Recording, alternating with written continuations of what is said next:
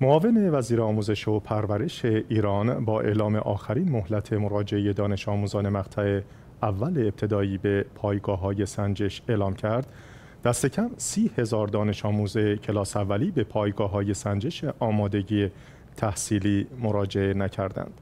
همکاران در گزارش خود به بررسی این موضوع پرداخته که با هم می‌بینیم.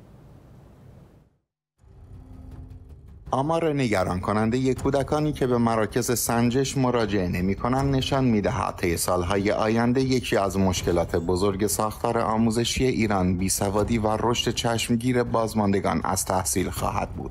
دلایل و جزئیات امتناع خانواده این سی هزار دانش آموز از ثبت نام به صورت دقیق مطرح نشده اما بهمن ماه 1402 معصوم نجفی پازوکی معاون آموزش ابتدایی وزارت آموزش پرورش ایران مدعی شده بود با طراحی سامانه ای که در آن اطلاعات دانش آموزان با آمار ولادت در سامانه ثبت احوال تطبیق داده می شود مشخص شده چند هزار دانش آموز به دلایل معلولیت و ناتوانی از حضور در مقطع اول ابتدایی باز ماندند.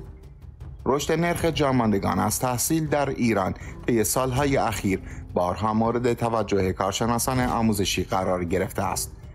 کارشناسان بر این باورند که این موضوع می تواند در آینده به طبعاتی مانند احساس نابرابری تحصیلی، بحرانهای اجتماعی و کاهش سطح دانش در جامعه ایران و بیسوادی منجر شود.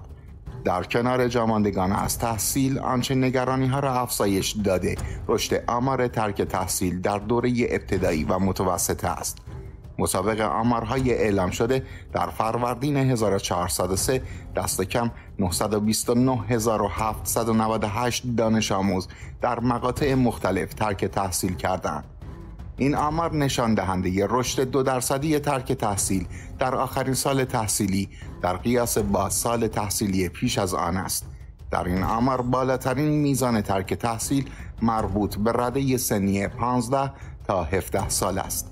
از مجموع 3 میلیون و 552 هزار و 889 دانش آموز این مقطع سنی 556 هزار و 994 نفر از تحصیل باز ماندند. که 295101 نفرشان را پسران و 261893 نفر را دختران تشکیل می دهند. در رده سنی 6 تا 11 سال که سالهای ابتدایی تحصیل قلمداد می شود نیز آمارها حاکی از آن است که 9 میلیون و 86805 نفر 96202 نفر از پسران و 78912 نفر از دختران از تحصیل باز ماندند که در مجموع به معنای 175114 نفر جامانده از تحصیل است. البته صحت این آمارها همچنان محل تردید است. بر اساس گزارش رسانه های کشور ایران آمار با واقعیت موجود در جامعه همخانی ندارد و آمارهای واقعی جاماندگان از تحصیل به مراتب بیش از اعداد اعلام شده است.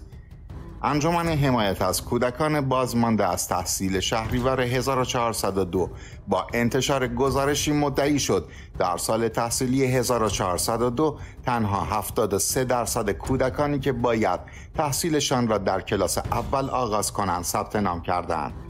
این موضوع به معنای بیشتر بودن تعداد کودکان جامانده از تحصیل از آمارهای رسمی وزارت آموزش و پرورش است. مسئله نابرابری اقتصادی در جامعه ایران تاثیر روشنی بر انصراف از تحصیل دانش آموزان دارد. مرکز پژوهش های مجلس با بررسی سال تحصیلی 1399 اعلام کرده است که حدود 70 درصد کودکان بازمانده از تحصیل در دهک یک تا پنج قرار دارند و دهک دوم با 22 درصد بیشترین سهم جاماندگان از تحصیل را دارد. قرار گرفتن استان سیستان و بلوچستان در رده اول جاماندگان از تحصیل نشان می دهد نابرابری توزیع امکانات تحصیلی در کنار مشکلات اقتصادی تأثیر آشکاری بر آمارهای ثبت شده دانش آموزان جامانده یا انصراف دهنده از تحصیل دارد. با توجه به شرایط آموزشی سالهای اخیر کارشناسان بارها بر ضرورت تغییرات ساختاری در بدنه آموزش و پرورش و سیاست های آموزشی ایران تاکید کردند. از سید نادر آموزگار، روزنامه نگار و فعال سیاسی از تهران پیرامون این گزارش دعوت به عمل آوردیم. آیه آموزگار سلام و عرض ادب. آیه آموزگار با توجه به گزارشی که ملاحظه فرمودید آینده این نسل را چگونه می‌بینید و آیا چشم انداز مثبتی برای اصلاح و تغییر این رویه وجود داره؟ بفرمایید.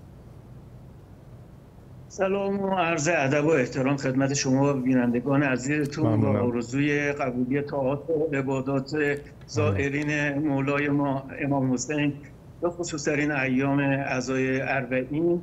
به حضور مبارکتون عرض می‌کنم که آماری که همینطور که در گزارش هم دیدیم وزارت آموزش پرورش ایران ارائه میده.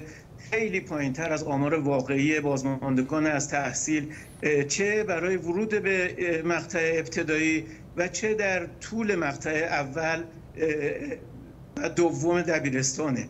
آمار خیلی بالاتر از این هاست و این خیلی نگران کننده است. به خصوص با آماری که حاکی از اینه که اکثریت این بچه ها از طبقات بسیار فقیر اجتماع و استانهای فقیرتر ایران هستند. و در کنار این وقتی قرار بدیم فرار مغزها از کشور رو و پایین اومدن آیکیو کلی ایرانی ها در آمارهایی که یونیسف ارائه داده متوجه میشیم که عمق فاجعه چقدر بزرگتر از این صحبت هاست. بله ممنون از همراهیتون با تشکر از سید نادر آموزگار روزنامه نگار و فعال سیاسی از تهران که پیرامون این خبر دعوت ما رو پذیرفتند.